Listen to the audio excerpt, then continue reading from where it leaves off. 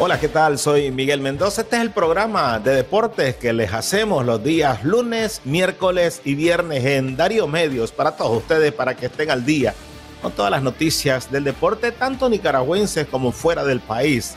Voy a empezar precisamente con los dos nicas que están trabajando en el béisbol profesional extranjero con Juan Carlos Ramírez que estará lanzando en la Liga del Pacífico mexicana con los Yaquis de Obregón. Ya empezó, ya hizo su primer trabajo fue de dos entradas y de una carrera permitida en este trayecto del pitcher pinolero que el año pasado jugó con los tomateros de Culiacán, pero que ahora ha ido a los Jackie Vía Canje. No estará jugando en la Liga Profesional Nicaragüense para aquellos que hacían planes de ver a Ramírez allá en la pelota pinolera. El otro pitcher es Ronald Medrano, que parecía que no encontraría contrato, pero bien, está lanzando con los el equipo de los gigantes de Cibao de la Liga Profesional de República Dominicana. Hizo un trabajo estupendo en su debut, cuatro entradas sin carreras y eh, esperemos que vuelva a convertirse en un pitcher dominante en el extranjero. Lástima que no pudo avanzar mucho en ligas menores cuando le dieron oportunidad después de su trabajo en el Clásico Mundial de Béisbol.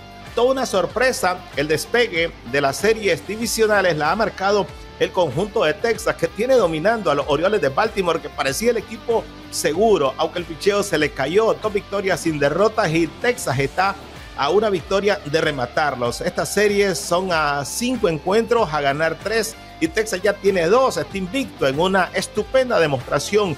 Lleva cuatro victorias de manera consecutiva en esta postemporada el, el equipo texano y de esta manera tiene contra la pared, tiene casi en la lona al equipo de los Orioles. La otra serie es entre los Astros de Houston y Minnesota que están una a una. El primer golpe lo dio el conjunto de los Astros y el segundo partido lo perdieron. Hoy están jugando los Phillies de Filadelfia ante los Bravos de Atlanta a estas alturas estaban ganando los Phillies, tienen una victoria sin derrota sobre los Bravos, que eso sería de las mayores sorpresas porque tienen una rece artillería que Atlanta se ha eliminado en esta serie rapidito por el equipo de los Phillies, pues no entraba en los cálculos, tienen una victoria, están encaminándose a un segundo triunfo en esta serie. Y la otra es entre el conjunto de Arizona y los Dodgers de Los Ángeles con Arizona con la ventaja de una victoria después que le dieron palo a Clayton Kershaw en tan solo el primer episodio del juego inaugural de este fin de semana.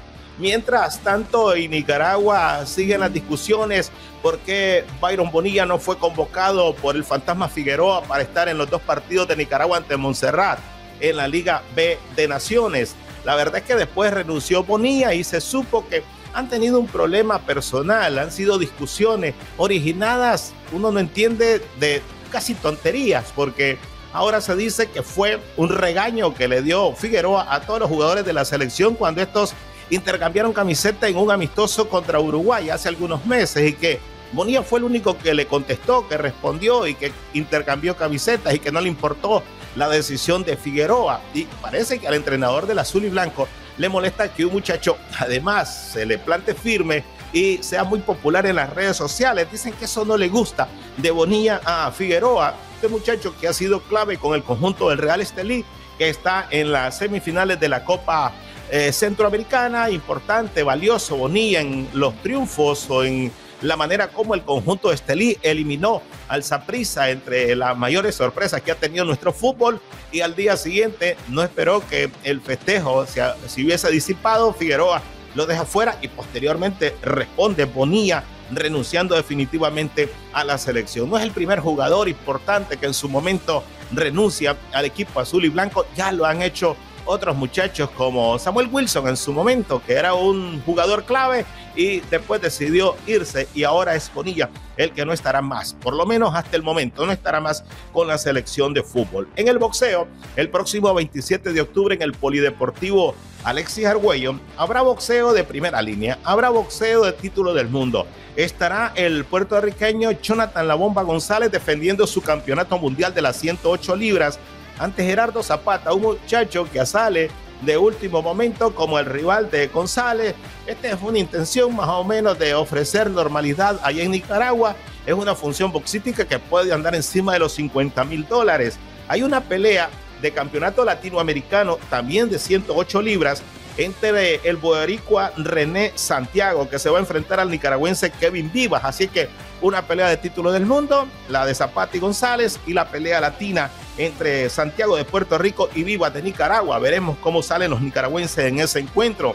Un gran reto le hizo Oscar de la Hoya al mexicano Saúl El Canelo Álvarez. Y no es que lo invite a pelear, de la Hoya está retirado desde hace mucho tiempo y el Canelo es uno de los mejores boxeadores de la actualidad. No, es que el Canelo, después de ganarle a Charlo, dijo que era el rey, que era invencible, que nadie era capaz de derrotarlo.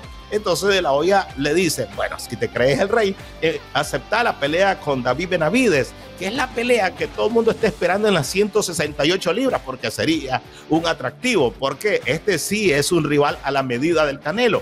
Pero también dicen que podría aparecer Terence Crawford y el Canelo eh, pues estaría a gusto con un boxeador que está subiendo tres categorías. Por muy buen boxeador que sea Crawford, le llevarían demasiado ventaja en relación a un enfrentamiento con el Canelo si es que caso terminan firmando ese combate. En el fútbol internacional se tuvo que empatar, se tuvo que conformar con un empate a dos goles el Barcelona en la Liga Española. Estuvieron perdiendo 2-1. En el último momento empatan. Hubo un gol anulado para el Barcelona.